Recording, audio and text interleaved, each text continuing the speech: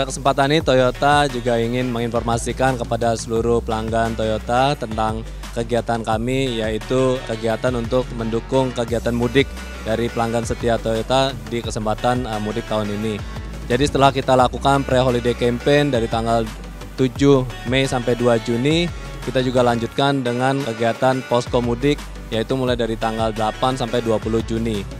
Jadi pada tanggal 8 sampai 20 Juni kita dari Toyota akan membuka 307 titik yang terdiri dari 270-an bengkel kami dan ada 11 bengkel yang buka 24 jam dan ada posko mudiknya sendiri yaitu sekitar 23. Dan diharapkan ini semua bisa mendukung, bisa membantu seluruh pelanggan setia Toyota di dalam melakukan kegiatan mudiknya secara aman dan juga secara kelancarannya. Dan juga selain itu kami dari Toyota menjadi sponsor resmi Asian Games, menjadi car official partner di mana kami memberikan kendaraan sebanyak 120 kendaraan yang terdiri dari Toyota Innova, Kijang Innova, kemudian juga Fortuner dan Alphard.